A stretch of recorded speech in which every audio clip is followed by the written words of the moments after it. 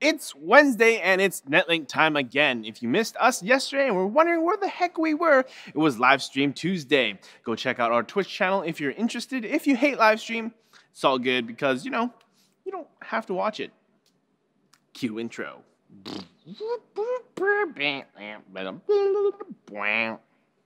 Record and stream at 1080p and 60 FPS with AverMedia's ExtremeCap U3. Yesterday we talked about Steam VR on our live stream, and today a silhouette of the Steam VR headset has been found, and it looks like a VR headset. Come on, what did you think it was going to be? A helmet? Although that would be cool though. In the outline of the image discovered by SteamDB, you can see three cables connected to the top front portion of the device.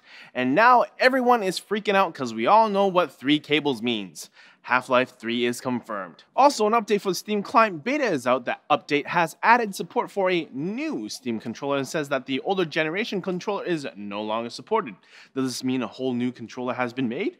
Hopefully we'll find out all the answers at GDC next week, but leave some guesses in the comment section down below. Remember a couple of months ago we informed you guys that HGST, a Western digital company, announced helium-filled 10TB drives?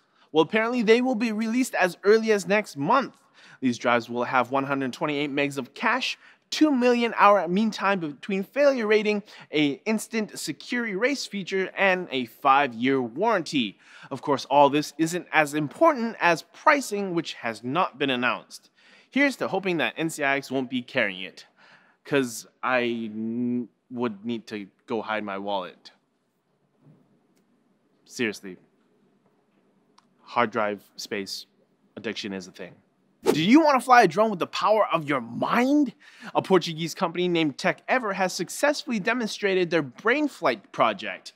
Basically, they use high-end EEG systems to measure brain waves and convert them to drone commands with specialized algorithms. The drone pilot is seen wearing a skull cap with a whole lot of wires connected to it, where I was picturing someone like Professor X just doing this the entire time.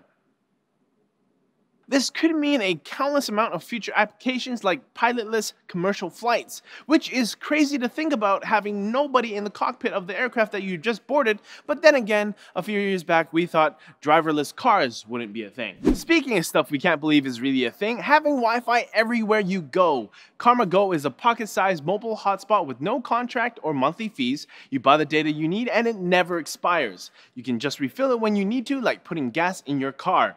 Plus, sharing your connection connection with others can even get you free data. Karma Go turns coast-to-coast 4G LTE coverage in the US into Wi-Fi connection that up to 8 devices can connect to simultaneously, so it's awesome for traveling. Get super fast Wi-Fi in your car, or your hotel room, or even space. Okay, maybe not, but we'll get there.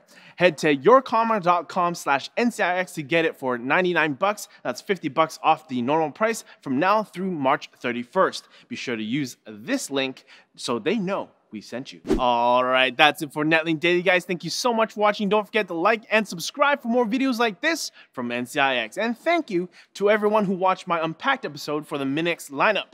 Two things. One, I know it's now Kodi and not XBMC. And two, I really liked enjoying the Keanu slash Surfer voice. Maybe I'll do an entire Netlink with that voice. Also, maybe not, because that would be horrible. Bye.